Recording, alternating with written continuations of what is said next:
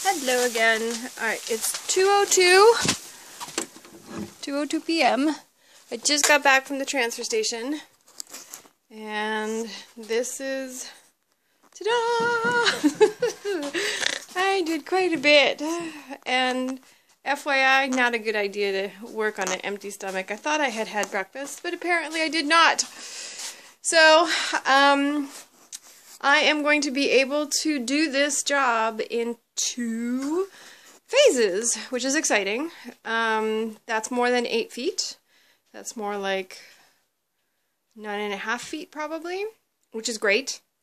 Um, I ended up stripping out uh, like these between these joists um, today because I tried to start cutting these things apart to get them off of that gas line and it turns out that it's tied in to one of those beams so I'm going to have to cut around it and figure out a way to support that line because it's connected oops on the original repair beam this one right there it's connected underneath that and then in this corner um, it's also, well, you can't see it, but it's also connected to one of, one of the original repair joints.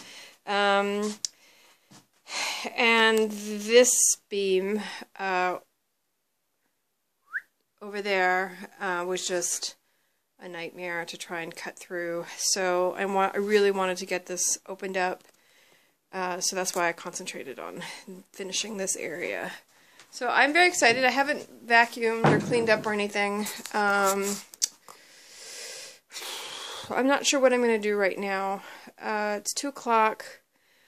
While I'll have lunch, probably, and then I will most likely go to Home Depot to get some of the lumber, at least like the pressure treated, and a few uh, to secure this area. Um, and then I'll I'll take this because I'm going to reuse this wood. I mean, this wood, the original wood, the original was crap, but these other um, ones can totally be reused, whether it's uh, shoring up underneath, whatever. But totally reuse those. So I'm going to try and cut out very carefully.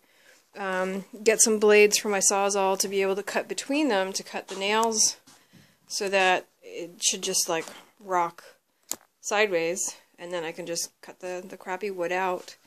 But yeah, so here's my creepy basement. Not too much. Oh, there's a lot of sawdust, but...